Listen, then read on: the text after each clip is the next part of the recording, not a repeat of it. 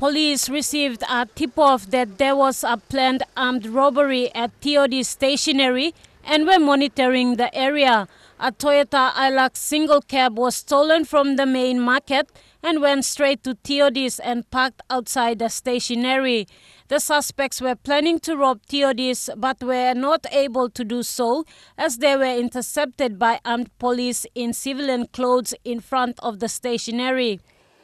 Two suspects were standing at the gate behind me while the driver and the other crew were in the vehicle. Police say they were targeting a staff of Theodist who was taking money to the BSP branch just next door. The quick response by police fouled what could have been a major robbery. Lae Metropolitan Commander Anthony Wagambi Jr. is now warning criminals that police are stepping up on their operations. This is to counter the high number of stolen motor vehicles and armed robberies. In another robbery incident, two prime suspects were apprehended and are now being dealt with by the CID. Mata Lewis, National MTV News, Lae.